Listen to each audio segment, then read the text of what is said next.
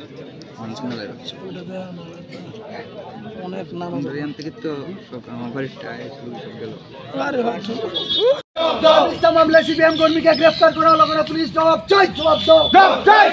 মিথ্যা মামলায় জবাব দাও। মিথ্যা মামলায় পুলিশ প্রশাসন জবাব চাই জবাব দাও। সিপিএম কর্মীকে মুক্তি প্রদান করতে হবে।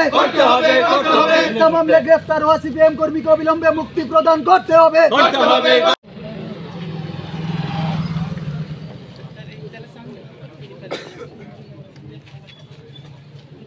পসিবল জিরো ভায়োলেন্স তো হচ্ছে না এটা। এটা তো বিজেপির পক্ষ থেকে বিজেপির মদতে দুষ্কৃতীরা গোটা এলাকার মধ্যে একটা চাপা উত্তেজনা করে রাখছে। এখন চাপা উত্তেজনা থাকলে, রাতের অন্ধকারে এইসব করলে, তাহলে কি ফ্রি অ্যান্ড ফেয়ারফুল আদৌ সম্ভব? দিকে দিকে করছে তারা এরকম, এখানেও করছে। এটা তো দেখতে হবে। আক্রমণের ঘটনা ঘটলো, পুলিশ গেল, পুলিশ যায়। বললে পরে পুলিশ গেছে। আমরা না করিনি। আমরা অস্বীকার করিনি।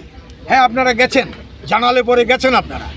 কিন্তু why all this incidents are taking place everyday এটা তো কাম্য না। প্রত্যেক দিন এই ঘটনাগুলো কোথাও না কোথাও ঘটছে। এটা তো ঠিক হচ্ছে না। এটা তো নির্বাচনের শান্তিপূর্ণ পরিবেশ এইভাবে রক্ষিত হতে পারে না। এটা বন্ধ করা উচিত এবং করা হচ্ছে একটা মহল থেকেই করা হচ্ছে। এটা তো শাসক দল, ভারতীয় জনতা পার্টি, তারা এটা করছে।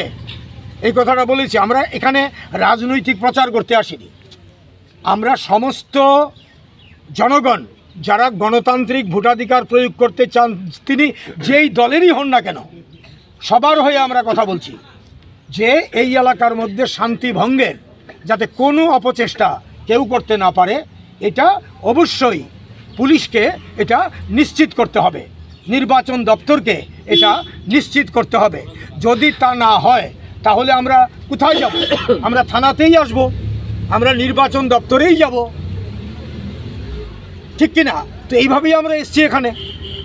আমাদেরও তো নির্বাচনী কাজকর্ম আছে। তো সব ফেলে আমরা থানার সামনে এসে বিক্ষোভ দেখাচ্ছি কেন?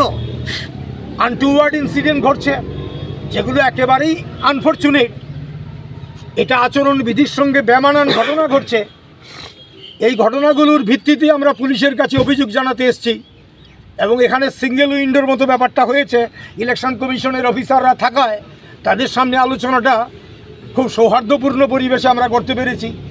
আমার সঙ্গে ছিলেন আমাদের দুজন আইনজীবী এবং আমাদের সঙ্গে এই এলাকার দুজন অভিভাবক ছিলেন। আমরা একসঙ্গেই কথাটা বলেছি, পাঁচজন গিয়ে আপনারা অপেক্ষা করেছেন এতক্ষণ। তো পুলিশ কথা দিয়েছে, তারা আজকের থেকে গোটা এলাকার মধ্যে আরও তারা ভিজিল্যান্ট হবেন। যাতে এইরকম অপ্রীতিকর ঘটনা কেউ ঘটাতে না পারে। আমরা আমাদের সহযোগিতা চেয়েছেন। আমরা তো কবেই বলেছি যে আমরা সহযোগিতা করব। এটা আমাদের অতীতের ইতিহাস যে always we are ready today we are ready always আগে যেমন ছিলাম এখনও to cooperate to cooperate with the police আমরা অভিযোগ জানালে তারা ব্যবস্থা নেবেন। কেন? অন্য যে কোনো পার্টি আমরাও যদি লাগাই, খুলে ফেলুন। আর লাগাবে কেন? সর্বদলীয় মিটিংয়ের মধ্যে কথা হয়েছে, এগুলো লাগানো যায় না। তারা করছেন। মানছেই না কোনো আচরণবিধি বিজেপি। এয়ারপোর্ট রুট, আমি আমি তো অন্য কথা বাদেই দিলাম অন্য জায়গায়। এটা হচ্ছে। তো এই জায়গাটা আমরা জনগণকেও বলব যে আপনারা চোখ কান খোলা রেখে এই বিষয়গুলো আপনারা প্রতিবাদে সামিল হন।